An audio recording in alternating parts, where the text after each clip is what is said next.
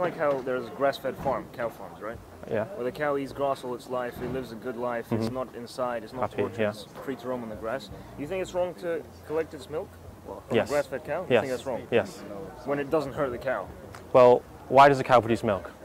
A cow produces milk. Well, it fe- it produces excess milk. You know that, right? But why does a cow produce milk?